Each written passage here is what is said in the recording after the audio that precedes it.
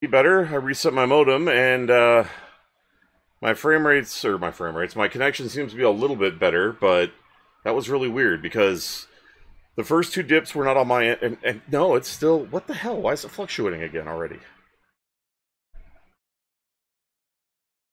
Whoa, okay, it is not my end. I reset my modem and it's still freaking happening. What the hell?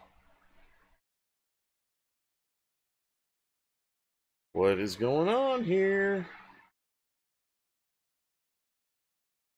Is it finally stabilizing?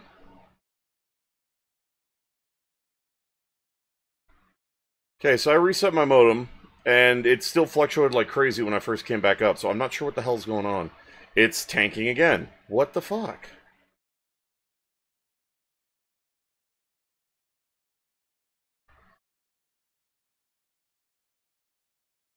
So it seems to be dropping down to about 5k, so I'm gonna...